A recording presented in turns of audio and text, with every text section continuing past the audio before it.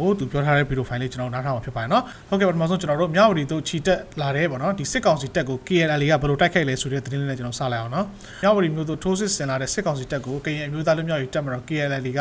ဦးဆောင်တီပူပေါင်းတစ်ဖွဲ့များကားတဲ့ရှေ့ဆက်မတိုးနိုင်အောင်ဖျက်တောက်ထားနိုင်ကြောင်းသိရှိရပါတယ်တဲ့စစ်ကူအဖွဲ့တွေနဲ့ပေါ့နော်မပေါင်းမိအောင်ပေါ့နော်ဒီမှာဂျာဖက်တိုက်ခိုက်တဲ့ဟာတွေအောင်မြင်နေဆိုတော့တွေ့ရတယ်ပေါ့နော်စစ်သားရာနဲ့ချီပြီးတေဆုံးနေဆိုလည်းတွေ့ရပါတော့เนาะဒီမှာစစ်ကူလာရေးရင်နှန်းနေရတော့တကယ်ပေါ့နော်တန်ချက်ကကားတွေလည်းပါတယ် ဒီနောက်ပြီးတော့ဒီမှာစစ်သားတွေတင်ဆောင်လာတဲ့ဖောကားတွေလည်းအများကြီးပဲပေါ့နော်အဲ့တော့စစ်ကူတွေပူပေါင်းမိသွားတယ်ဆိုရင်တော့ဒီမြောက်ရီမျိုးကတော့မလွယ်ဘူးပေါ့နော် ဒါပေမဲ့ဒီ KL ကဂျာဘက်တိုက်ခိုက်တဲ့အောင်မြင်မှုတွေကိုကျွန်တော်တွေ့ရဖြစ်ပါတယ်နော်ဟုတ်ပြီနောက်ထပ်ပေါ့နော်ဒီမှာမြန်မာနေကျန်းသောတပ်ဖွဲ့ဝင်46ဘင်္ဂလားဒေ့ရှ်နိုင်ငံကိုထပ်မံပြီးတော့ဝင်ရောက်သွားတယ်ဆိုတဲ့သတင်းကိုဖော်ပြထားတဲ့ AR တိုင်းရဲ့စာလေးကိုကျွန်တော်တွေ့ရဖြစ်ပါတယ်နော်အဲ့မှာဒီစစ်ကောင်စီကလည်းရှုံးတိုင်းမှာပြေးနေရပါနော်ဒီနေ့မှလည်းထပ်ပြီးတော့ဒီဘင်္ဂလားဒေ့ရှ်နိုင်ငံကို46ဦးပြေးသွားတယ်ဆိုတာကိုကျွန်တော်တို့ထပ်ပြီးတော့တွေ့ရှိရဖြစ်ပါတယ်နော်အဲ့တော့ကတိုက်တိုင်းအောင်တက်မတော့မဟုတ်ဘဲနဲ့အာအများနဲ့ထွက်ပြေးနေရတက်မတော်ကြီးဖြစ်နေဆိုတာတွေ့ရတယ်ပေါ့နော် ကဲဆက်လက်ပြီးတော့ကျွန်တော်တို့ပေါ့နော်ဒီပသိမ်ထောင်မှာအကျဉ်းသား59ဦးဒီဘောနော်လွတ်မြောက်တယ်ဆိုတဲ့သတင်းလေးပေါ့နော်အဲ့ထက်မှာနိုင်ချင်းကျင်းသား၄ယောက်ပဲပါတယ်ဆိုတဲ့သတင်းလေးတင်ဆက်ထားတဲ့ AR တိုင်းရဲ့သတင်းလေးကိုကျွန်တော်ချက်လောက်ကြည့်လိုက်အောင်နော်နှစ်စန်းတရက်နေ့ထိမ့်မှတ်ပြဲအကျဉ်းသားတွေကိုလူငင်းခွင့်ပေးရမှာ AR တိုင်းပသိမ်ထောင်မှ59ဦးလွတ်မြောက်ခဲ့ရာနိုင်ငံရေးအကျဉ်းသား၄ဦးသာပါဝင်တယ်လို့အကျဉ်းဦးစီးဌာနနဲ့နှိစက်သူတွေစီကသိရပါတယ်။လွတ်မြောက်လာတဲ့နိုင်ငံရေးအကျဉ်းသား၄ဦးမှာ ပုံမှန်905ကကြီး905ခခွေစတာတွေနဲ့ထောင်နှံကြခံနေရတဲ့ပသိမ်မြို့နယ်မှာအမျိုးသားနှုတ်နဲ့ကျုံမြုံမြို့နယ်မှာအမျိုးသားနှုတ်တို့ဖြစ်ကြပြီးသူတို့ဟာထောင်ကလွတ်ဖို့လာပိုင်းတာကြန့်ရှိသူတွေလို့သိရပါတယ်လောက်ကနေတွေလွတ်ပြီးတော့နော်ဝက်ပါပါတယ်အများစုကတော့လွတ်ရနီးတဲ့သူတွေပါလို့အချင်းဦးစီးဌာနနဲ့နှိဆက်သူတူက AR Time ကိုပြောပါတယ်ပသိမ်အချင်းထောင်မှအချင်းသားတွေကိုနေ့လယ်တနာရီမှာစတင်လွှတ်ပေးခြင်းဖြစ်ပြီး အကျဉ်းသား58ဦးနဲ့အကျဉ်းသူ2ဦးစုစုပေါင်း59ဦးပြန်လည်နှုတ်မြောက်လာတယ်လို့အကျဉ်းဦးစီးနဲ့နှိဆက်သူတွေကပြောပါတယ်ဒါတော့ပသိမ်ချင်းထောင်မှာပေါ့နော်လွတ်မြောက်ထားတဲ့ဒီကျင်းသားတွေရဲ့အစင်းဖြစ်ပါတယ်နော်ကျွန်တော်နောက်ထပ်ပေါ့နော်သတင်းတစ်ပုဒ်ကတော့ဒီနေပြည်တော်ရဲ့ဒီ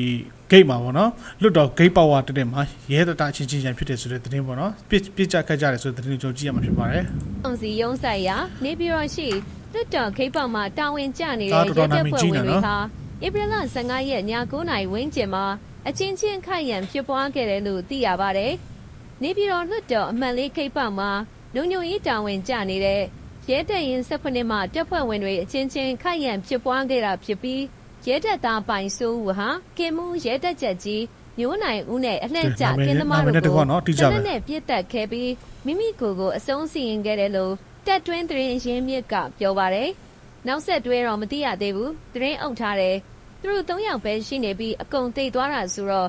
ခိုင်ရန်ဖြစ်ပွားပြီးတော့ကြံတဲ့တယောက်ကကုတ်ကုတ်ကိုတနက်နဲ့အဆုံးစီရင်ခဲ့တယ်လို့သိရတယ်လို့တက်တွင်းသတင်းရင်းမြစ်တူက AR Time ကိုပြောပါတယ်။ခိုင်ရန်ဖြစ်ပွားခဲ့တဲ့နေပြည်တော်လွတ်တော်အမှတ်လေးကိတ်ပေါမှာလွတ်တော်ဥက္ကဋ္ဌဦးတီခွန်မြတ်ရုံးထိုင်တဲ့လွတ်တော်ဖြစ်တယ်လို့သိရပါတယ်။ကဲနော်ဟိုဘက်မှာတော့တော်တော်လေးတက်ပြတ်နေတယ်ဆိုတဲ့အခြေအနေကိုကျွန်တော်တွေ့ရတယ်ပေါ့နော် ဆက်လက်ပြီးတော့လည်းပေါ့နော်ဒီကိုရှယ်လေးတင်ဆက်ထားတဲ့သတင်းလေးကျွန်တော်တွားပြီးမှနောက်ထောင်ချင်အောင်အထက်မှာဘိုလ်ချုပ်စေဝင်းဘာကြောင့်ပျောက်နေလဲဆိုတဲ့သတင်းလေးပါပါတယ်နော်တဖန်မြောက်ရီမျိုးကိုပြန်လဲရရှိဖို့ခြိတက်လာနေတဲ့တိုက်ရင်ငါးရင်လုံးလမ်းတစ်လျှောက်မှာဂျားဖြတ်တိုက်ခိုက်ခံရတဲ့အတွက်ရှေ့မတူးနိုင်တော့တဲ့အခြေအနေရောက်ရှိနေပြီးလက်ရှိမြောက်ရီမျိုးကိုတော့ဘုံမှုကြီးစောချစ်သူကထိမ့်သိမ့်ကုတ်ကဲထားပါတယ်။နောက်သတင်းတစ်ပုဒ်မှာတော့ရခိုင်ပြည်နယ်သတင်းပါ ဘူးတီတောင်မြို့နယ်တနေရာမှာရခိုင်တပ်တော်နဲ့မြန်မာစစ်တပ်ကလက်နက်အထောက်ပံ့ပေးထားတဲ့အာဆာ AR တို့နဲ့တိုက်ပွဲတနိုင်ကျော်များဖြစ်ပွားခဲ့ပြီးကဲမြန်မာစစ်တပ်ကလက်နက်အထောက်ပံ့ပေးတဲ့အားစားလို့ရေးထားရနော်အာဆာတပ်ဖွဲ့ဝင်3ဦးလက်နက်နဲ့အတူဖမ်းဆီးရမိခဲ့တယ်လို့မြန်မာအမေရိကန်သတင်းဌာနကစုံစမ်းသိရှိရပါတယ်ခင်ဗျာဒါကတော့ဖာဆောင်ဒေတာကတိုက်ပွဲသတင်းပါခြေတုနဲ့စတီယိုထည့်ထားတဲ့ ရဲဘော်တယောက်အခုကျွန်တော်တို့ပြပြထားတဲ့နေရာမှာခြေတက်ပြီးတိုက်ပွဲဝင်နေတာတွေ့ရပြီးအဆိုပါစခန်းကိုတော့တစ်ခုလုံးကြည်ကြည်မှော့မှော့နဲ့၎င်းတို့ကြားတက်ထိုးသိမ်းလိုက်ပြီးဖြစ်ကြောင်းပါခင်ဗျာမြန်မာစစ်တပ်ကပြောရေးဆိုရေးခွင့်ရှိသူဗိုလ်ချုပ်ဇော်မင်းထွန်းကတော့တပ်မတော်အရာရှိအကြီးအကဲကြီးများကိုယ်တိုင်ကာကွယ်ရေးလုံခြုံရေးကိုကုတ်ကဲစီမံနေတဲ့စစ်ပွဲတော်တော်များများအားလုံးအဆုံးအရှုံးနဲ့လက်နက်ပေါင်းမြောက်များစွာနဲ့လူအသက်ပေါင်းမြောက်များစွာမိသား စုဘဝပေါင်းမြောက်များစွာနဲ့တိုင်းရင်းသားပြည်သူဒေသစတဲ့နေရာတွေအားလုံးအပြက်စီးအဆုံးရှုံးအထိခိုက်တွေနဲ့သာကြုံတွေ့နေရကြောင်းပါခင်ဗျာနောက်သတင်းတစ်ပုဒ်ကစစ်တပ်ကတာသနာနေမြေဇေဒီဘောနဲ့စာတင်ကြောင်း တွင်အခိုင်အမာတက်ဆဲပြီးခံစစ်ပြင်ထားမှုများမြန်မာနိုင်ငံအနှံ့အပြားတွင်တွေ့ရှိရပြီးတိုက်ပွဲထိတွေ့မှုများဖြစ်ပေါ်လာသောအချိန်မှာဇေဒီပထိုးသာသနာအဆောက်အဦများထိခိုက်မှုများပြားလာရင်အမျိုးဘာသာသာသနာထိခိုက်အောင်လုပ်တယ်လို့ဝါဒဖြန့်နိုင်ဖို့အတွက်ဗျူဟာကြကြစီစဉ်ထားတာကိုတွေ့ရပါတယ်နော်သူတို့လက်ရှိပြောတာနောင်ချိုမြို့နယ်တိုက်ပွဲမှာတော့တရကုန်းကျွရတိုက်ပွဲမှာစစ်တပ်ဘက်မှ20တဖန်အကျဉ်းသားများလွတ်ပေးတဲ့လွန်ငင်းချမ်းသာသတင်းမှာအကျဉ်းသား3303ဦးကို ရာဇဝမှုကျင့်ထုံးပုံမှန်တရားတရားလွတ်ပေးလိုက်ပြီး3000ကျော်အဆိုပါအကျဉ်းသားတီထဲမှာနိုင်ငံသားအကျဉ်းသားများ100ကျော်ခန့်ပါဝင်တယ်လို့သိရပါတယ်ယခုလွတ်ပေးတဲ့အထဲထဲမှာနိုင်ငံရေးအကျဉ်းသားညီမျှပါတယ်ဆိုတာကိုတော့အတိအကျမပြောနိုင်ကြတော့ညာလည်းပဲမြန်မာတို့ရဲ့ထုံးတန်းစင်လာအရာနှစ်တက်ကူနှစ်ဆန်းတစ်ရက်နေ့မှာတတဝါတွေကိုလွန်ငင်းချမ်းသာပေးတယ်ဆိုတဲ့ဒလိထုံတန်းအစင်လာကိုအကောင့်ထဲပေါ်တဲ့အနေနဲ့အခုလိုလွန်ငင်းချမ်းသာ ပေးတာကိုသိရပြီးတစ်ဖက်မြန်မာနိုင်ငံရဲ့ရခင်အစိုးရယခုလည်းတရားဝင်အစိုးရဖြစ်တယ်လို့အများကလက်ခံထားကြတယ်ဒေါအောင်ဆန်းစုကြည်ဦးဆောင်တဲ့အစိုးရနဲ့ပတ်သက်တဲ့သတင်းတွေ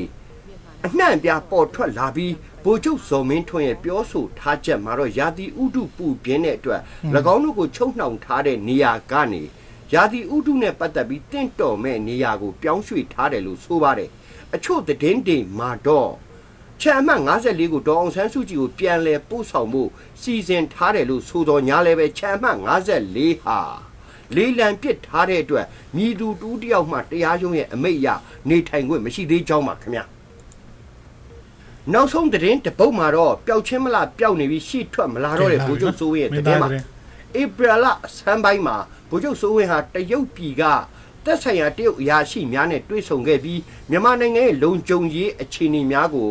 ရှင်းပြခဲ့တယ်လို့၎င်းတို့နဲ့တွေ့ဆုံဆွေးနွေးရမှာတနိုင်ငံနဲ့တနိုင်ငံရာဇဝတ်မှုနှိမ်နင်းရေးကြားဖြတ်နဲ့ပတ်သက်တဲ့ online လိမ်လည်မှုလူကုန်ကူးမှုမူရစ်ဆေးဝါးကိစ္စများနဲ့တရုတ်ပြည်အစိုးရကိုထိခိုက်နစ်နာအောင်လှုပ်ဆောင်နေကြတဲ့အသင်းအဖွဲ့လူပုတ်ကိုမြန်မာနိုင်ငံတဲက နေထိုင်ပြီးဆောင်ရွက်နေကြပြီးခိုးလုံနေကြသူများကိုလည်းအချိန်မရွေးဖမ်းဆီးပြီးပြန်လည်ပို့ဆောင်ဖို့အတွက်နှစ်ဖက်သဘောတူခဲ့ကြတာကိုတော့တွေ့ရကြောင်းပါခင်ဗျာလက်ရှိဗိုလ်ချုပ်စိုးဝင်းဟာစစ်ရေးကိုဦးစီးပြီးနိုင်ငံရေးစီးပွားရေးလူမှုရေးကြံတဲ့ကဏ္ဍများကိုတော့ဗိုလ်ချုပ်မှုကြီးမင်းအောင်လှိုင်ဦးစီးဆောင်ရွက်တာအားလုံးအဆုံးရှုံးများပြားနေကြောင်းသိရပါတယ်ခင်ဗျာ ကဲဒါလေးကတော့ကိုရှယ်လေးတင်ပေးထားတဲ့သတင်းပဲဖြစ်ပါတယ်နော်အဲတော့သတင်းအစဆုံးကြည့်ပြီးသွားတဲ့သူရောက်စတိုင်းသူပဲကျေးဇူးတင်ပါတယ်ဟုတ်ကဲ့နောက်ထပ်သတင်းတူတစ်ပုဒ်နဲ့ကျွန်တော်ပြန်တွေ့ကြမယ်နော်